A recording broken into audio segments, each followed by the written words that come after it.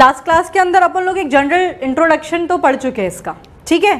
Last class के अंदर मैंने आपको ये बोला था कि सेल्युलर रेस्पायरेशन जो है, इसको डिटेल स्टडी हम लोग करेंगे। ठीक है? तो मैकेनिज्म ऑफ़ सेल्युलर रेस्पायरेशन मैं आपके साथ डिस्कस करूँगी।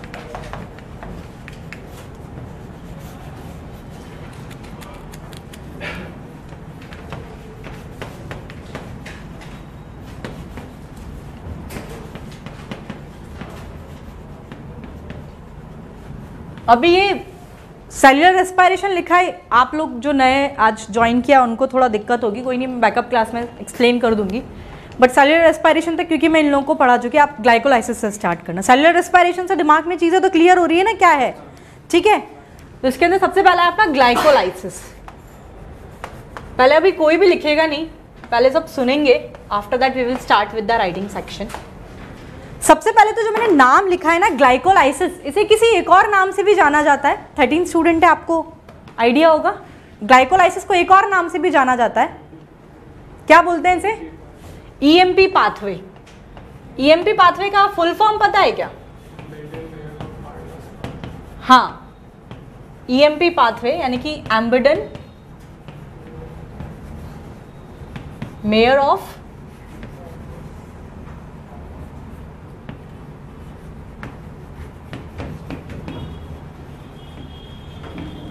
ये इसका नाम है ग्लाइकोलाइसिस या फिर ईएमपी पाथवे इसका सिनोनिम आपको पता होना चाहिए। सबसे पहले हम लोग जो यहाँ पर वर्ड देख रहे हैं ग्लाइकोलाइसिस ये जो टर्म है ये ग्रीक वर्ड से लिया गया है। आपने बहुत जगह पर ये सुना होगा इसे ग्रीक वर्ड से डिराइव्ड है ग्रीक ग्रीक या फिर लेटिन लैंग्वेज से डिराइव्ड है। इसका इंपॉर्टेंस कोई मुझे बता सकता है कि वहीं से उसी लैंग्वेज से हम क्यों लेते हैं ये सारे टर्मिनोलॉजीज डेड लैंग्वेज है अभी उस पर कोई आगे वर्क नहीं हो रहा है इसलिए। ठीक है? तो ग्लाइकोलाइसिस जो ये जो टर्म है, ये भी ग्रीक वर्ड है। ये दो चीज़ों से मिलके बनाए। एक तो है ग्लाइकोस प्लस लाइसिस ग्लाइकोस से मतलब क्या समझते हैं आप? इसका सिंपल मट हाँ शुगर और लाइसिस का मतलब ब्रेकडाउन यानी कि कुल मिला के ग्लाइकोलाइसिस में क्या होता होगा? आपका शुगर का ब्रेकडाउन होता है। अब जैसे ही आप एक टर्म सुनते हो शुगर का ब्रेक डाउन तो दूसरी चीज़ माइंड में क्या क्लिक करनी चाहिए ना? लास्ट क्लास के अंदर मैंने आपको एरोबिक और एनोरोबिक रेस्पायरेशन के बारे में पढ़ाया था। एरोबिक रेस्पायरेशन में तो क्या होता है? सबको पता होगा कि इसके अंदर कंप्लीट मतलब कंप्लीट जो है ग्लूकोज का कंप्लीट ब्रेकडाउन होता है। जितने भी कार्बन है CO2 के फॉर्म में रिलीज़ हो जाते हैं। लेकिन यही बात अगर एनएरोबिक रेस्पायरेशन की की जाए तो इसके अंदर कंप्लीट ब्रेकडाउन होता है क्या? नहीं। इनकम्प्लीट ऑक्सीडेशन होता है। यहाँ पर आप एक चीज़ ये ध्यान रखेंगे जितने भी लिविंग ऑर्गेनिजम्स हैं, चाहे वो एरोबिक रेस्पायरेशन करते हो एरोबिक की बात करें, चाहे हम एनएरोबिक की बात करें, यहाँ पर ग्लूकोज का इनकम्प्लीट ऑक्सीडेशन इनकम्प्लीट ब्रेकडाउन से पायरोविक एसिड का फॉर्मेशन होता है। क्योंकि एक जनरली अगर हम देखें तो जैसे ये टर्म सुनेंगे कि ग्लूकोज का इनकम्प्लीट क्योंकि जितने कार्बन है ग्लूकोज के अंदर, वो सारे एज ए सी के फॉर्म में तो रिलीज़ नहीं होते। आपको पता होगा ग्लाइकोलाइसिस के अंदर अल्टीमेट प्रोडक्ट जो है, ये two molecules of pyruvic acid अपन को मिलता है। यानी कि कंप्लीट ऑक्सीडेशन तो नहीं हो रहा इनकम्प्लीट ऑक्सीडेशन हो रहा है। तो अपने दिमाग में एक जनरल चीज़ जो हमें जनरल फॉर्मेट जो हमें पता लगता है, हमें ऐसा लगता है कि इनकम्प्लीट ऑक्सीडेशन यानी कि एनएरोबिक ऑर्गेनिजम्स की बात हो रही है। लेकिन नहीं ग्लाइकोलाइसिस जितने भी लिविंग ऑर्गेनिजम्स हैं, चाहे एरोबिक चाहे एनएरोबिक उसके अंदर हाँ कॉमन है। ग्लाइकोलाइसिस इन दोनों के अंदर ही आपके ग्लूकोज के इनकम्प्लीट ऑक्सीडेशन से two molecule of pyruvic acid का फॉर्मेशन होता है। पहला पॉइंट अब ये याद रहेगा। हाँ दूसरी चीज़ मैं सब लिखवाऊँगी। मैंने नाम दिया ई एम पी पाथवे ये नाम क्यों? ये इन साइंटिस्ट के नाम के ऊपर है Embden Meyerhof and Parnas इन्होंने स्कीमेटिक जो स्कीम ऑफ़ ग्लाइकोलाइसिस जो है, इन्हीं ने दिया था, इसलिए इसका नाम पड़ गया ई एम पी पाथवे ठीक है? यहाँ तक सही है। अभी ग्लाइकोलाइसिस मैंने बोला कि एरोबिक और एनारोबिक रेस्पायरेशन के अंदर, दोनों के ही अंदर एरोबिक और एनारोबिक ये कॉमन पाथवे है। एनारोबिक रेस्पायरेशन की एनारोबिक ऑर्गेनिजम्स की अगर बात की जाए तो it is the only process of respiration anaerobic organisms के अंदर it is the only process of respiration that is the glycolysis ठीक है? ग्लाइकोलाइसिस के अंदर होता क्या है? अल्टीमेटली जो आपका सिक्स कार्बन कंपाउंड जो ग्लूकोज है इसका इनकम्प्लीट ऑक्सीडेशन से two molecule of pyruvic acid का फॉर्मेशन होता है। इसमें कितनी सीरीज़ कितनी एंजाइमेटिक रिएक्शंस होती हैं कितने स्टेप्स हैं किसी को पता है? हम्म टेन दूसरा पॉइंट अगर यहाँ से क्वेश्चन आता है तो वो ये इसका साइट ग्लाइकोलाइसिस जैसे आपको पता होगा एरोबिक रेस्पायरेशन के स्टेप्स मैं एरोबिक की बात कर रही हूँ। एनारोबिक में तो ऑलरेडी मैंने एक टर्म बोल दिया कि एनारोबिक ऑर्गेनिजम्स के अंदर the only process of respiration it is the glycolysis यानी कि सिर्फ़ ग्लाइकोलाइसिस ही होता है। लेकिन एरोबिक ऑर्गेनिजम्स की बात करें एरोबिक रेस्पायरेशन की बात करें तो यहाँ पर तो सिर्फ़ इनकम्प्लीट ऑक्सीडेशन हुआ है। एरोबिक रेस्पायरेशन में तो कंप्लीट ऑक्सीडेशन होना चाहिए। तो मुझे बता सकता है कौन कौन सी स्टेप्स आती है एरोबिक में? पहला स्टेप तो ग्लाइकोलाइसिस दूसरा? दूसरा क्रेप साइकिल है। लिंक रिएक्शन दोनों को कुछ जोड़ता है ग्लाइकोलाइसिस और क्रेप साइकिल को। किसका फॉर्मेशन होता है उसके अंदर? हाँ एसिटाइल को एंजाइम ए उसे लिंक रिएक्शन या गेटवे रिएक्शन भी कहते हैं। कारण ये, क्योंकि ये ग्लाइकोलाइसिस और क्रैप साइकिल को दोनों का बीच का लिंक है, दोनों को जोड़ता है। तीसरा आपका वही क्रैप साइकिल और सिनोनिम्स बताओ इसके? हाँ ट्राइकार्बोजाइलिक एसिड साइकिल और साइट्रिक एसिड साइकिल भी बोलते हैं इसे। ठीक है? हाँ फोर्थ स्टेप एरोबिक रेस्पिरेशन के स्टेप्स की बात कर रही हूँ मैं। एक स्टेप तो मैंने बताया ग्लाइकोलाइसिस दूसरा लिंक रिएक्शन तीसरा क्रैप साइकिल चौथा स्टेप हाँ ईटीएस और ऑक्सीडेटिव फॉस्फोराइलेशन होता है क्या? होता है। ठीक है? अब जो नेक्स्ट नेक्स्ट जो चीज़ आती है इन सब की साइट ये कहाँ कहाँ ग्लाइकोलाइसिस कहाँ होता है? साइटोप्लाज्म के अंदर। लिंक रिएक्शन नहीं। साइट हाँ? माइटोकॉन्ड्रियल मैट्रिक्स के अंदर होता है। क्रैप साइकिल ये भी माइटोकॉन्ड्रियल मैट्रिक्स के अंदर होता है। और ईटीएस हाँ इनर माइटोकॉन्ड्रियल मेम्ब्रेन के अंदर होता है। ऑक्सीडेटिव फॉस्फोराइलेशन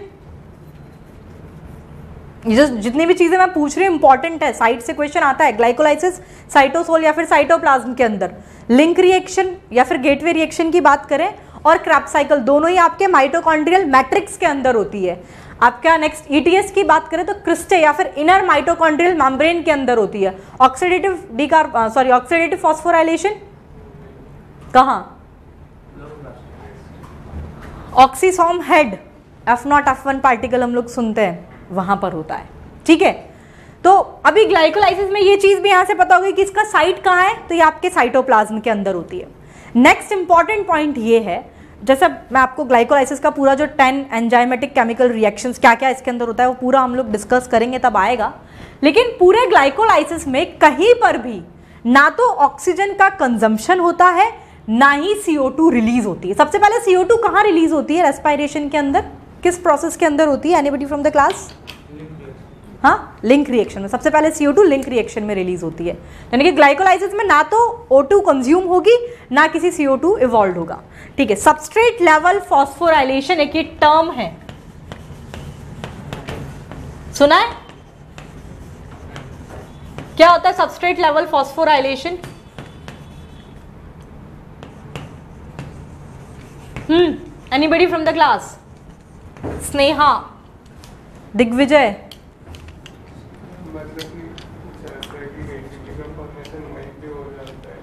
है, ऐसा ही कुछ है। वहीं पर, कहाँ पर?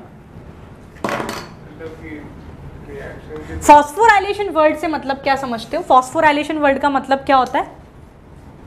ऐसे कभी नहीं भूलोगे। इसका जो नाम है ना, इसी के अंदर इसका एक्सप्लेनेशन है। फॉस्फोराइलेशन मतलब क्या होता है? हाँ? फॉस्फेट में बदलना। एटीपी का फॉर्मेशन होता है क्या? हाँ? मैं लिख सकती हूँ फॉस्फोर ऑक्सीडेटिव फॉस्फोराइलेशन ये पूरा अपन लोगों ने डिस्कस किया है ना। हाँ? यानी कि formation of ATP substrate level यानी कि एटीपी के फॉर्मेशन के लिए जो एनर्जी चाहिए। वो अगर सबस्ट्रेट रिलीज़ करे विदाउट ईटीएस ईटीएस से नहीं कोई लिंक है, ठीक है? अगर एटीपी के फॉर्मेशन के लिए सबस्ट्रेट आपकी एनर्जी को रिलीज़ करे विदाउट ईटीएस इसे हम कहते हैं सबस्ट्रेट लेवल फॉस्फोराइलेशन और इसमें जो एटीपी का फॉर्मेशन हो रहा है it is the oxidative phosphorylation important है ऑक्सीडेटिव फॉस्फोराइलेशन होता है, या फिर क्या होता है आपका, इसमें ऑक्सीडेटिव फॉस्फोराइलेशन होता है, ठीक है? नाम से याद फॉस्फोराइलेशन एटीपी का फॉर्मेशन होगा। सबस्ट्रेट लेवल पर यानी कि सबस्ट्रेट अगर एटीपी के फॉर्मेशन के लिए आपकी एनर्जी को सबस्ट्रेट रिलीज़ करे without ETS electron transport system अभी मैं जब ग्लाइकोलाइसिस पढ़ाऊँगी तो वहाँ पर आएगा इलेक्ट्रॉन ट्रांसपोर्ट सिस्टम में आपके एटीपी मतलब वहाँ पर क्या बनता है, फिर वो ईटीएस में जाता है, फिर कैसे एटीपी का फॉर्मेशन होता है, उसका डिटेल डिस्कशन मैं स्कीमेटिक डायग्राम के साथ करूँगी। पर मतलब इसमें आप सिर्फ़ इतना समझ लो कि ईटीएस के बिना अगर सबस्ट्रेट जो एनर्जी रिलीज़ कर रहा है, उसी से एटीपी का फॉर्मेशन हो रहा है तो it is the substrate level phosphorylation is it clear अभी आएगा वही।